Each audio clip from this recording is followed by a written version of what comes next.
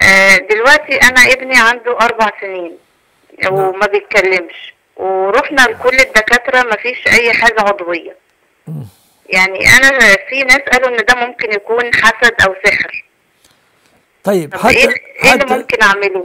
حتى لو سلمنا إنه حسب الدعاء والرقية بس ما في إلا كده. إذا مرضت فهو يشفيني لا تيأسي ابدا من رحمة الله. إذا مرضت فهو يشفيني يا أختي. طب معلش لو سمحت. طب دلوقتي أنا كنت عايزة العيلة كلها تتوضى واحميه بمية الوضوء دي. يعني عشان لو في حسد آه، يعني ربنا يرفع عنه. الحسد ما, ما تقوليش حسد إذا قلت في عين. لكن لأن الحسد تمني زوال النعم لا يحتاج إلى رقية لا عفوا لا يحتاج إلى لا يحتاج إلى اغتسال. العين هي التي تحتاج إلى اغتسال. لكن لا أظنك أصبت في هذا الباب فهذا شيء قدره الله بعيدا عن الحسد وبهذه الطريقة ستؤذي العائلة كلها. حيث لا معنى لل هم مش معترضين. أي بس هم مش معترضين لكنك لا تضعين الشيء في محله الصحيح. الآن العين تكون الشخص ماشي سليم فجأة يصاب.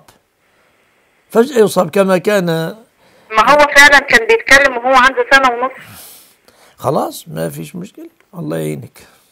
طب أنا ممكن أجمع مية الوضوء كلها ولا لازم كل شخص لوحده؟ ما أنت لا تعنيت على نفسك اعملي بقى. كل شخص لنفسه ما يطلب كل الكلام هذا يعني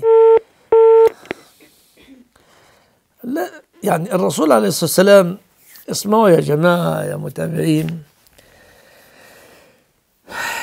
كان من أصحاب رسول الله صلى الله عليه وسلم رجل يقال له سهل بن حنيف. وكان وسيما وضيئا. فقام يغتسل فمر به عامر بن ربيعة فقال ما رأيت جلدا كهذه الجلد المخبأة ما رأيت جلد ولا كأنها جلد فتاة بكر. فسقط سهل صريعا في الحال.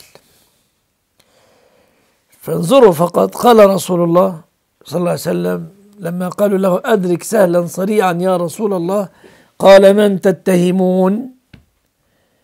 اتهمتم واحد بعينه؟